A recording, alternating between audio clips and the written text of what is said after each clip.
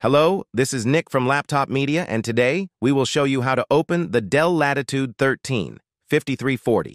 To see the internals, you have to undo eight captive Phillips head screws. Then, pop the top two corners with a thin plastic tool.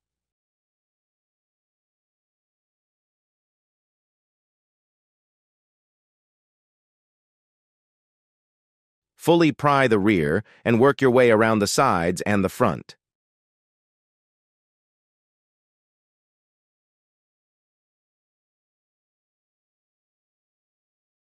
Our device is equipped with the optional 54 watt-hour battery. The base variant is a 42 watt-hour variant. To remove it, pull out the connector from the motherboard and undo the five Phillips head screws that fix the unit to the chassis. The optional capacity is enough for almost 11 hours of video playback.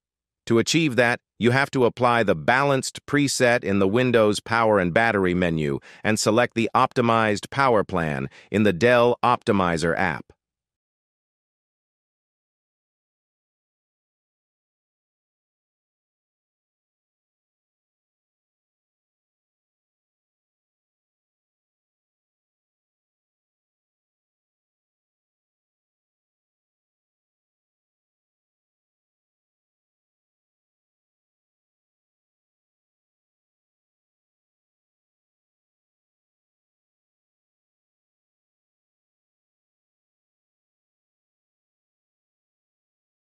In terms of storage, there is just one M.2 slot for the shorter 2230 Gen 4 SSDs. The pre-installed NVMe is protected by a shroud that is held in place by two Phillips head screws.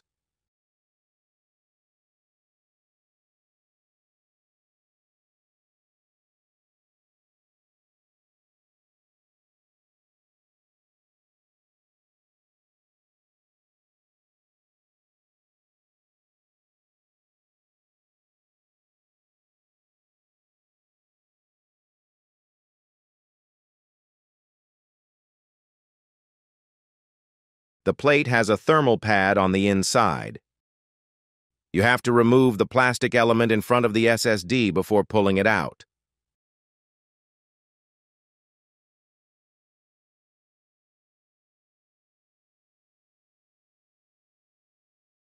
The WWAN slot for optional 4G or 5G connectivity is placed on the left of the cooling fan.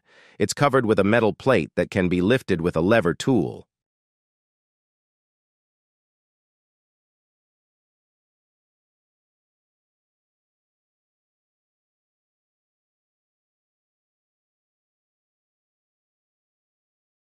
Just like most compact devices, the memory here is soldered. On the bright side, you get up to 32 gigabytes of LPDDR5, 4800 megahertz RAM that works in dual-channel mode, which should be enough for most people.